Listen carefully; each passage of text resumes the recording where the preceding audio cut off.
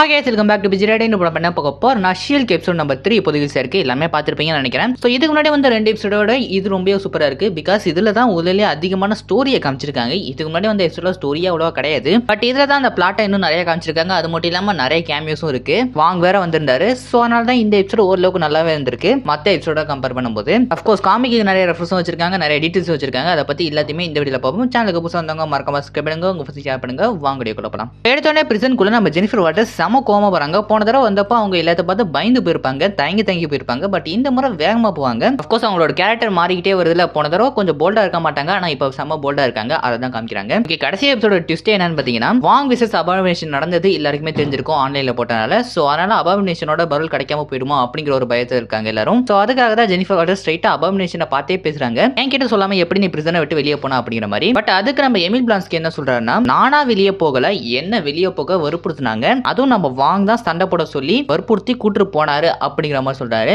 அதனால ஷியல் ஸ்ட்ரைட்டா வாங்க கான்டாக்ட் பண்ற மாதிரி காமிச்சிருக்காங்க. வாங்குக்கு மெசேஜ் அனுப்புற மாதிரி காமிச்சிருப்பாங்க. So அப்போ வாங்கோட ஏதோ ஒரு ப்ரொஃபைல் போட்டோ காமிச்சிருப்பாங்க. அதுல அவரோட ஜாப்ல சாசர் சுப்ரீம் இருக்கு. அது மட்டும் இல்லாம அவர் கொஞ்சம் வருஷம் முன்னாடி லைப்ரரியாவும் இருந்திருப்பாரு. ஸோ அதுக்கான இதுவும் இருக்கு. அதுக்கு முன்னாடி அவர் சேல்ஸ் அசோசியேட்டாவும் இருந்திருக்காரு. நேபாள்ல காட்மண்டூல. ஸோ அதுக்கான டீடைல்ஸுமே அங்க இருக்கு. அந்த மாதிரி அவங்க டீடைல்ஸ்லாம் கலெக்ட் பண்ணிட்டு இருக்கும்போது தான் நம்ம ஷீல் மறுபடியும் ஃபோர்த் வால் பிரேக் பண்ணுவாங்க. அஃப்கோர்ஸ் இது கொஞ்சம் ஸ்பெஷலான பிகாஸ் உங்க ஃபோர்த் வால் பிரேக் பண்ணும்போது வண்டி அப்படியே விட்டுட்டாங்க. பட் அப்படி இருந்தாலுமே வண்டி அதுவா தானா போயிட்டு இருக்கு பேக்ரவுண்ட்ல இருக்க வண்டியுமே தானா போயிட்டு இருக்கு அஃப்கோர்ஸ் ஃபோர்த் பிரேக் பண்ணும்போது எல்லாமே அப்படியே தான் நடக்கும் அப்படிங்கறத இங்க காமிக்கிறாங்க போல இருக்கு. டெட்புல் வரும்போது இதே மாதிரி நடக்காதுன்னு தான் நினைக்கிறேன். பிகாஸ் டெட்புல் எக்கச்சக்க தடவை இந்த மாதிரி ஃபோர்த் வால் பிரேக் பண்ணியிருக்காரு. அது ரொம்ப வித்தியாசமா காமிச்சிருக்காங்க. பக்கத்துல இருக்கவங்க ரியாக்ட் பண்ற மாதிரி காமிச்சிருக்காங்க. அந்த மாதிரி அவங்க ஃபோர்த் வால் பிரேக் பண்ணி என்ன சொல்றாங்கன்னா வேற இந்த சீரிஸ்ல நிறைய கேமியோஸ் வரலாம். பட் அப்படி இருந்தாலுமே இது என்னோட சீரிஸ் தான். சிஎல் கூட சீரிஸ் தான். அப்படிங்கிற மாதிரி சொல்றாங்க. அதுக்கப்புறம் நியூஸோட நியூஸ்ல கீழே பாத்தீங்கன்னா நம்ம டைட்டானியோட லீகல் டீம் இந்த லீகலான விஷயங்கள் எல்லாத்தையுமே ஓரம் தள்ளி வைக்க போறாங்க. அதாவது டைட்டானியாவை வெளியே கொண்டு வர போறாங்க அவங்க மேல எந்த தப்பும் இல்ல நிரூபிக்க போறாங்க அப்படிங்கிற மாதிரி போட்டிருக்கும். கோர்ஸ் சைட்டானே இதுக்கப்புறம் வரதான் போறாங்க. இந்த சீரிஸ்லயே சோ அதுக்கான இழப்பு தான் வச்சிருக்காங்க. பட் எப்போ வரப்பாங்கன்னு தெரியல. வெயிட் பண்ணி பார்ப்போம். அதே நேரத்தில் மத்த எல்லா சூப்பர் ஹீரோஸ் மாதிரி பஷியலுக்குமே கொஞ்சம் ஓவரா தான் டேப் பண்றாங்க. மத்த எல்லா சூப்பர் ஹீரோஸை விடையே நம்ம ஷியலுக்கு கொஞ்சம் ஓவரா டேப் பண்றாங்க. அந்த எம்சியூ வேலையில இப்போதைக்கு ஷியலுக்கு ரொம்ப ட்ரெண்டிங்ல போயிட்டு இருக்காங்க ஸோ அதுக்கான காரணம் அவங்க ஒரு பொண்ணு அப்படிங்கிற மாதிரி அந்த ஃபெமினிசம் சம்பந்தப்பட்ட விஷயத்தையும் காமிச்சிருப்பாங்க. கோர்ஸ் இந்த சீரிஸே அப்படிதான் போயிட்டு இருக்கு But அந்த மாதிரி நெட்ல கமெண்ட்ஸ்லாம் வந்திருந்தாலுமே அதெல்லாம் கவனிக்காம ஷியலுக்கு போறாங்க. ஸோ அப்போ அவங்களோட லா ஃபிலிமுக்கு டெனிஸ் வராங்க. கோர்ஸ் டெனிஸை பத்தி உங்களுக்கு தெரிஞ்சிருக்கும். இவங்க கூட தான் நம்ம ஜெனிஃபர் வாட்டர்ஸ் முன்னாடி ஒர்க் பண்ணியிருப்பாங்க அவர் இங்க ஒரு கேஸுக்காக தான் வந்திருக்காரு. அது என்னன்னு கேஸ்னு பாத்தீங்கன்னா ஆஸ்கார்ட்ல இருந்து ஒரு ஹெல்ஃப் இங்க வந்திருக்கு. எஸ் அவங்களையும் நம்மளால ஆஸ்கார்டியன்னே சொல்ல முடியும். தோர் டார்க் வேல்ல டார்க் எல்ஸை பார்த்துருப்போம்ல ஸோ அவங்களுக்கு அப்படியே ஆப்போசிட்டா இருக்கவங்க தான் இவங்க எல்ஃப்ஸ் இவங்க கெட்டவங்க கிடையாது வெறும் எல்ஃப்ஸ் தோண்டி தான். இவங்களால ஷேப் ஷூட்டிங்கும் பண்ண முடியும். ஸோ இந்த மாதிரி இவங்க ஷேப் ஷூட்டிங் பண்ணி மெகண்ட ஸ்டீலியனா மாதிரி நம்ம டெனிஸை ஏமாத்தி இருக்காங்க டெனிஸை ஏமாத்தி நிறையவே காசை பிடிங்கிருக்காங்க. ஸோ அதுக்காக தான் இங்க டெனிஸ் கேஸுக்காக வந்திருக்காரு இந்த லா ஃபிலிம் கிட்ட. அந்த மாதிரி பேசிட்டு இருக்கும்போது இன்னொரு கேரக்டருமே அறிமுகப்படுத்தியிருப்பாங்க மேலரி புக்குன்னு. இவங்க ஒரு ஆண்டகனிஸ்ட் காமிக்கல இவங்களுமே ஒரு லாயர் தான் நல்ல லாயர் தான். பட் அப்படி இருந்தாலுமே காமிக்கல இவங்க ஷியலுக்கு எதிராக மாறி இவங்களே ஒரு குரூப்பை வச்சு ஷியலுக்கு பிடிக்கிற மாதிரி காமிச்சிருக்காங்க. ஷியலுக்கு எதிராக ஒரு வில்லனா இருக்க மாதிரி காமிச்சிருக்காங்க அந்த காமிக் சீரிஸ்ல மேபி இந்த சீரிஸோட எண்டிங்ல இவங்க வில்லனாவும் மாறலாம். அதாட்டி அடுத்த சீசன் டூக்கான ஒரு லீடப்பா கூட இவங்க இருக்கலாம். அப்பதான் கரெக்டா நம்ம வாங்குறாரு வாங்க வந்து அந்த விஷயத்தை எல்லாத்தையுமே ஒத்துக்கிறாரு. அவர் என்ன சொல்லியிருப்பாருன்னா சாசர் சுப்ரீமா ஆனா ஒரு மிகப்பெரிய போட்டியில பங்கெடுத்துக்கணும். அந்த போட்டியில ஜெயிக்கணும். ஸோ அதுக்காக தான் நான் ஒரு ஒத்தியான ஆப்போனட்டா அபாபினேஷனை தேர்ந்தெடுத்து அவங்க கூட சண்டை போட்டான் அப்படிங்கிற மாதிரி காமிக்கிறாங்க. நம்ம தான் அவரும் சொல்லியிருப்பாரு. அந்த மாதிரி பேசும்போது அவர் எல்லாரோட மெமரியும் நான் அழிக்க மாட்டேன். மறுபடியும் நான் அழிக்க மாட்டேன். அப்படி அழிச்சனா மிகப்பெரிய பிரச்சனை தான் வரும் அப்படிங்கிற மாதிரி சொல்றாரு. அஃப்கோர்ஸ் ஸ்பைடமன் நோயமுக்கான ரெஃபரன்ஸ் தான். ஸோ ஸ்பைடமன் நோயமா டாக்டர் தான் அந்த மெமரியை அழிச்சிருப்பாரு. ஸோ அதனால நம்ம ஸ்பைடமன் எக்கச்சக்க விஷயத்துல மாட்டிருப்பால அதுக்கான ரெஃபரன்ஸாக தான் இங்க வச்சிருக்காங்க. அது மட்டும் இல்லாம இது எப்படி இவருக்கு ஞாபகம் இருக்கும் சொல்லி நிறைய பேர் டவுட் இருக்கலாம். வெல் அவங்களுக்கு பீட்டர் பாக்கரோட நேம் ஒன்று தான் மறந்துருக்கும். அந்த இந்த ஸ்பெல் போட்டோன்னா உங்களுக்கு கண்டிப்பா மறந்துருக்காது. அவங்க ஸ்பைடமனுக்காக அந்த ஸ்பெல்ல போட்டாங்க. அந்த ஸ்பெல்லால பிரச்சனை வந்துச்சு அப்படிங்கிறதா உங்களுக்கு ஞாபகம் இருக்கும். பட் அது யாருக்கு வந்துச்சு? பீட்டர் பாக்கருக்கு வந்துச்சா? வேற யாருக்காச்சும் வந்துச்சா? அப்படிங்கிறத உங்களுக்கு ஞாபகம் இருக்காது. இப்போ அதுக்கான ரெஃபரன்ஸையும் சூப்பராக வச்சிருக்காங்க. அது மட்டும் இல்லாமல் எந்த பிரச்சனையும் இருக்காமல் இருக்கணும்னா அபாமினேஷன் நம்ம அப்படியே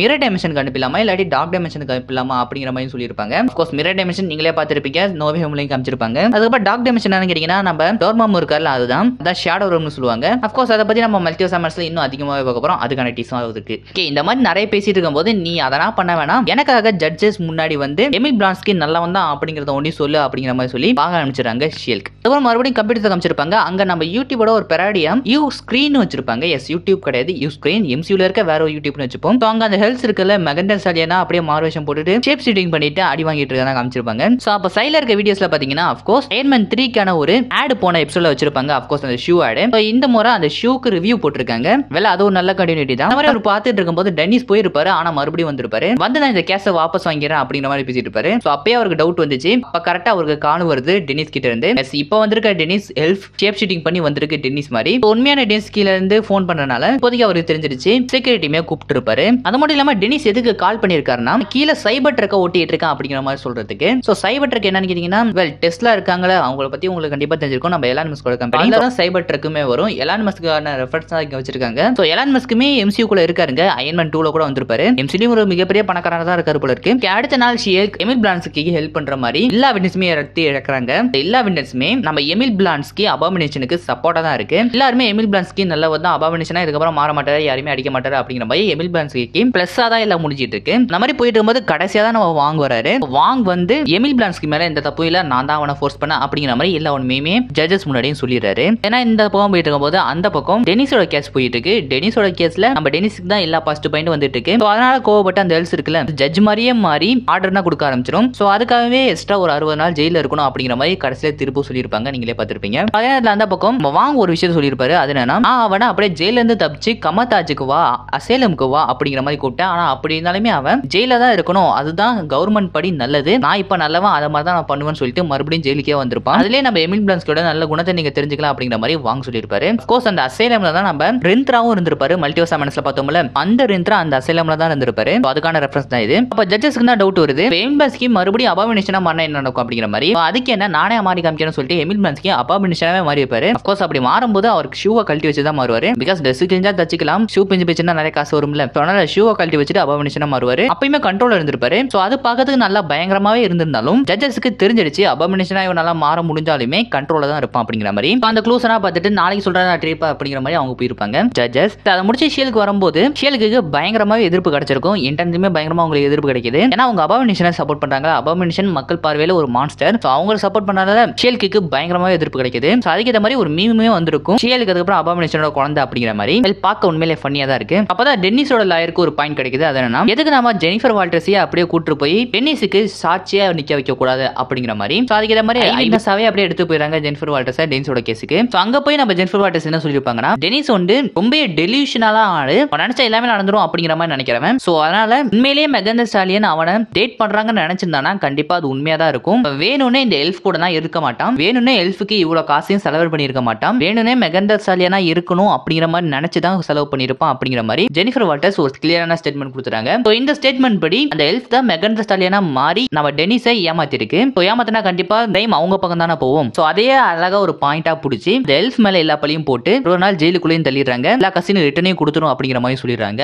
கோர்ஸ் அங்க நம்ம மெகந்த ஸ்டாலியனோட கேமியோயுமே பார்க்க முடியுது. அந்த மாதிரி அவங்க பேசிட்டே போகும்போது எல்ஃபோட பவர்னா எடுத்து வச்சணும் அப்பதான் மத்தவங்க இதுக்கப்புறம் இவன் தொந்தரவு பண்ண மாட்டான் அப்படிங்கிற மாதிரி அந்த லாயர் சொல்லியிருப்பாரு. ஸோ அப்பதான் நம்ம ஷீலுக்கு ஒரு ஐடியா கிடைக்குது. அஃப்கோர்ஸ் நம்ம ஹல்க் இருக்கார்ல அவர் ஒரு டிவைஸ் போட்டிருப்பாரு. அந்த டிவைஸ் வழியா அவரால் ஹல்கா திருப்பிட்டு மாறவே முடியாது. ஹியூமனா மட்டும் தான் இருக்க முடியும். ஸோ அதே மாதிரி ஒரு டிவைஸை கிரியேட் பண்ணி அபவனேஷனுக்கு கொடுத்தா கண்டிப்பா அபவனேஷன் எப்போதுமே எமில் பிளான்ஸ்கே தானே இருப்பாரு. அவனால பிரச்சனையே வரதில்ல ஸோ அப்படிங்கிற ஒரு ஐடியாவை எடுத்து ஜட்ஜஸ் கிட்ட சொல்ல. ஜட்ஜஸ்க்குமே அந்த ஐடியா பிடிச்சி போய் எமில் பிளான்ஸ்கியை ரிட்டர்ன் கொடுத்துட்றாங்க. அதாவது வெளியே விடுறாங்க. பட் இதுக்கப்புறம் எமில் பிளான்ஸ்கி அபவனேஷனாவே தேவையில்லாம மாறக்கூடாது. அப்படின்னு சொல்லிட்டு ரெண்டு மூணு டேர்ம்ஸ் அண்ட் கண்டிஷன்ஸ்னா போட்டு தான் வெளியே அனுப்புறாங்க. ஒருவேளை அந்த டேர்ம்ஸ் அண்ட் கண்டிஷன்ஸ்னா மாறிடுச்சுன்னா அதை மீறினார்னா கண்டிப்பா எமில் பிளான்ஸ்கே மறுபடியும் ஜெயிலுக்கு போக வேண்டியதான் அப்கோர்ஸ் இது எதுக்கான லீடப்னு பார்த்தீங்கன்னா தண்டர்போர்ட்ஸ்க்கான லீடப் தான். இப்போதைக்கு கவர்மெண்ட் கீழே தான் நம்ம எமில் பிளான்ஸ்கி இருக்காரு. அது மட்டும் இல்லாம அவர் கேப்டன் இருக்க மாதிரி ஒரு ஹீரோவா மாறணும்னு நினைக்கிறாரு. இப்போ இதை அப்படியே அழகான சான்ஸை நம்ம கவர்மெண்ட் யூஸ் பண்ணி எப்படி தண்டர்போர்ட்ஸ்க்கு வந்துடா நீ ஹீரோவா மாயிட அப்படிங்கிற மாதிரி சொல்லலாம். அப்கோர்ஸ் எமில் பிளான்ஸ்கி வேணாம்னு சொல்ல போறாரு. கண்டிப்பா தண்டர்போர்ட்ஸ்ல வந்துருவாரு. அதுக்கான லீடப் தான் இது. மேபி ஷியல் கூட போஸ்ட் கட் சீன்ல அதாவது கடைசி எபிசோட போஸ்ட் கட் சீன்ல வேலண்டினா வந்து நம்ம எமில் பிளான்ஸ்கிய தண்டர்போர்ட்ஸ்ல சேர்க்கிற மாதிரி கூட காமிக்கலாம். ஆன்லைன்ல எப்படி ஷியல் தான் ட்ரெண்டிங்கா இருக்காங்க அப்படின்னா கண்டிப்பா நியூஸ்ல போய் அவங்களோட பேரை ஏத்திக்கணும்ல கெட்ட பேர் தான் நீக்கணும்ல. ஸோ அதனால நியூஸுக்கு கிட்ட போய் அவங்களே ஸ்ட்ரைட்டா இன்டர்வியூ கொடுக்குறாங்க. அந்த மாதிரி எல்லா வேலையும் கொடுத்துட்டு உங்க வீட்டுக்கு திருப்பி ரிட்டர்ன் ஆகும்போது தான் இந்த பிரேக்கர் குரூப்ஸ் வந்துடுறாங்க. ஸோ இவங்க காமிக்லயுமே இருக்காங்க இவங்க ஒரு நாலஞ்சு பேர் இருப்பாங்க. ஒரு ஒரு ஆள்கிட்டயுமே தனித்தனி பவர்ஸ் இருக்கும். இவங்களை நம்ம சீக்கவாஸ்ல பார்த்துருப்போம் சீக்கவாஸ் காமிக்ஸ்ல பார்த்துருப்போம். இவங்க தோர் கூட நிறையவே சண்டை போட்டிருக்காங்க காமிக்ஸ்ல மற்றபடி இவங்க ஒன்றும் அந்த அளவுக்கு மிகப்பெரிய வில்லன்ஸ்லாம் கிடையாது. பட் ஓரளவுக்கு நல்லா பவர்ஃபுல்லான ஆள் தான் அது மட்டும் இல்லாம இவங்களோட பவர்ஸ் தான் ஆஸ்கார்டியன்ஸ்ல இருந்து தான் ஆர்ஜின் ஆயிருக்கு அப்படிங்கிற மாதிரி சொல்லியிருப்பாங்க. அது மட்டும் இல்லாம இந்த எபிசோட்லயே அந்த எல்ஃபோட கேஸ் நடக்கும்போது ஆஸ்கார்டுங்கிறது ஒரு இடம் இல்ல அது மக்கள் அப்படிங்கிற மாதிரி இந்த எல்ஃப் கூட டயலாக் சொல்லியிருக்கும். அந்த மாதிரி இந்த எபிசோட்லயே எக்கச்சக்கமா ஆஸ்கார்டியன்ஸ்க்கு ரெஃபரன்ஸ் வைக்கிறாங்க. மேபி இந்த சீரீஸ்ல ஆஸ்கார்டியன்ஸ் யாராச்சும் வரலாம். மேபி நம்ம வால்கிரி வரலாம் பிகாஸ் வால்கிரியுமே இப்போதைக்கு எம்சியில கொஞ்சம் ஃபேமஸா தான் இருக்காங்க. So, அவங்களோட கேமியோ நம்ம எதிர்பார்க்கலாம்னு நினைக்கிறேன். நான் அதுக்கேற்ற மாதிரி தான் எக்கச்சக்க கேமியோஸ் இங்க இருக்கு. வந்துகிட்டே இருக்கு. அடுத்த எபிசோடுமே நிறைய கேமியோஸ் வரப்போகுது. ஓகே அப்படியே அந்த பிரேக்கிங் குரூப்பை ஈஸியாவே நம்ம ஷியலுக்கு டிஃபீட் பண்ணி ஓடே விட்டுறாங்க. அவங்க போகும்போதும் நம்ம பாஸ் இதை பத்தி கண்டிப்பா யோசிப்பாரு. கண்டிப்பா இதுக்காக நமக்கு பிரச்சனை சந்தோஷப்பட மாட்டாரு அப்படிங்கிற மாதிரி சொல்லி தான் போயிருப்பாங்க ஸோ யார் யார் பாஸா இருப்பாங்க? மேபி கிங் பின்னா இருக்கலாம் ஆர் இல்லாட்டி டாக்டர் டூமா இருக்கலாம். டாக்டர் டூம் தான் டைட்டானியா அனுப்புனாரு. அப்படிங்கிற மாதிரி சொல்லிட்டு டைட்டானியாவுக்கு அப்புறம் இவரையும் அனுப்பியிருக்காரு அப்படிங்கிற மாதிரி சொல்லலாம். டாக்டர் டூமா இருக்கிறது தான் வாய்ப்புகள் அதிகமா இருக்குன்னு நினைக்கிறேன். பிகாஸ் டைட்டானியாவை கிரியேட் பண்ணது நம்ம டாக்டர் டூம் தான். சீக்காவா ஸ்டோரி பார்த்துருந்தீங்கன்னா நம்ம பிரேக்கிங் கூப்பிட்டுருக்காங்களா அவங்க எல்லாருமே டாக்டர் டூமுக்கு கீழே வேலை பார்த்துருப்பாங்க. ஆனால் வச்சு பார்க்கும்போது மேபி டாக்டர் டூம் அப்படியே இந்த சீரீஸ்ல வரலாம். மிகப்பெரிய வில்லனா இன்னும் இந்த சீரீஸோட மெயின் வில்லன் யாருங்கிறது நமக்கே தெரியல. பிகாஸ் மெயின் வில்லனே இங்க கிடையாதுங்க. ஒன்லி ஹீரோ ஷியல் கொண்டி தான் ஷியல் கூட சோலோ சீஸ் தான் இருக்கு. மெயின் வில்லனா மேபி நம்ம டாக்டர் டூம் வரதுக்கு வாய்ப்புகள் இருக்கு. அவங்க நம்ம ஷியல் கூட ரத்தத்தை எடுத்துட்டு போலாம் தான் ட்ரை பண்ணிருப்பாங்க. கோர்ஸ் எடுத்துட்டு போய் நிறைய சூப்பர் சோல் சீரம்லாம் உருவாக்கி ஷியல்க்கு மாதிரி எக்கச்சக்க ஹல்க்கு கிரியேட் பண்ணணும்னு சொல்லி தான் ட்ரை பண்ணிருப்பாங்க. இப்போ இந்த மாதிரியான வேலைகளை நம்ம டாக்டர் ரூம் பண்றது கூட வாய்ப்புகள் இருக்கு. சரி வெயிட் பண்ணி பார்ப்போம். அதுக்கப்புறம் போஸ்ட் கிரீனுமே இருக்கு. போஸ்ட் கிரீன்ல பெருசா ஒன்றும் கிடையாது. உண்மையான மெகந்த ஸ்டாலியனோட நம்ம ஷியல் டான்ஸ் ஆகிற மாதிரி காமிச்சிருப்பாங்க. மெகந்த ஸ்டாலியன் ஷியலுக்கு ஒரு வேலை கொடுக்குற மாதிரி காமிச்சிருப்பாங்க. அதுக்கப்புறம் பெருசா அதில் ஒன்றும் இருக்காதுங்க. நிறைய பேருக்கு அந்த டான்ஸ் ஆக்வர்டா இருக்கலாம். ரைட் அவ்வளோ எபிசோட இவ்வளோ தான் காமிச்சிருக்காங்க. இவ்வளோ டீல்ஸ் தான் இருந்திருக்கு. நீங்க நினைக்கீங்க இதை பத்தி கீழே பண்ணுங்க. உங்களுக்கு இந்த எபிசோட் பிடிச்சிருந்துச்சுன்னா மறக்காம சப்ஸ்கிரைப் பண்ணுங்க. உங்க ஃப்ரெண்ட்ஸ்க்கு பண்ணுங்க. பிகாஸ் ஷீல் கூட அடுத்த எபிசோட்ல எல்லாருக்குமே இதே மாதிரி பிரேக் டவுன் போடுவோம். ஸோ அதனால மறக்காம சப்ஸ்கிரைப் பண்ணுங்க. உங்க ஃப்ரெண்ட்ஸ் ஷேர் நினைக்க